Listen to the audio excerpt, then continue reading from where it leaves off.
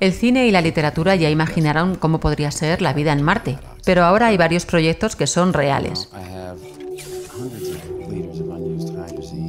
Uno de ellos es este que han liderado las artistas Ella Good y Nikki Kent, que han creado un prototipo de vivienda que se podría instalar en el planeta rojo y que se puede visitar en el Paseo Marítimo de Bristol, en Inglaterra, hasta este domingo 30 de octubre.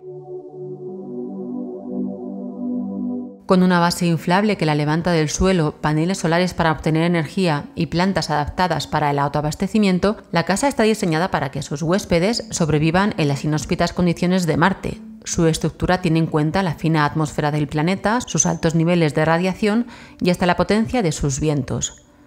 La idea es que sea un lugar agradable para vivir, donde podamos usar los recursos marcianos para tener una vida feliz y productiva, dice este experto en ciencias planetarias. Los científicos aseguran que es más viable que sobrevivamos en Marte que en la Luna, por lo que la idea de estas artistas no es del todo descabellada, sobre todo ahora que los viajes al planeta rojo parecen cada vez más probables. De hecho, este no es el único prototipo de una vivienda adaptada a Marte. El pasado mes de agosto, un proyecto denominado Marsa ganó un concurso organizado por la NASA con un fin similar. Se trata de una vivienda de estructura cilíndrica fabricada con una impresora 3D. Esta casa puede construirse en apenas 30 horas y sin la intervención de un equipo humano.